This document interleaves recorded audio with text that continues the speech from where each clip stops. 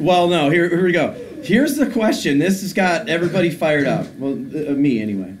Would you rather have freedom to go to bed whenever you want, or choose whatever you want to eat for dinner? Ooh wee. Devin. I would rather choose what I want to eat for dinner. Okay. Did you notice that even even though Devin wasn't really locked into, you know, um, restating, he did though. He said, "I would, I would rather have," and then you might want to throw the word the freedom to, what is it? Um, choose Choose what.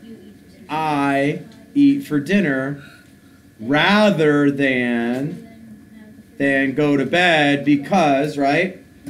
All right. So, you're going to do your would you rathers tonight. There's some good ones on here. It says, "Would you rather be uh, prominent and unhappy?" Remember remember the uh, what was it uh, what was it uh, Anna and Uba Min? Oberman. Oberman. Uba Min was prominent.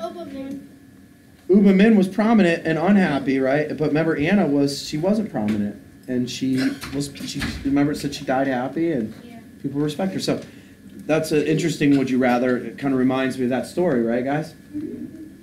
So that's your that's your homework tonight. You're gonna do would you rather, and by incidentally, I don't want you to use this sheet. Oh man, do I ever hate when that happens? I don't want you to use that sheet. I want you to um, set up a page in your vocabulary notebook. Okay. And it's pretty simple. You are going to Okay. Name and date at the top. Okay, and I want I want a title.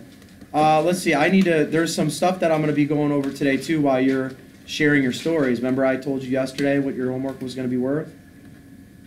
Remember that on the video. Um, so you would do your would you rather's right on here, just like that, and maybe you put up here. Would you rather? Okay, you want to have a title. All right, so there it is. Homework for tonight. Vocabulary. Todaro out.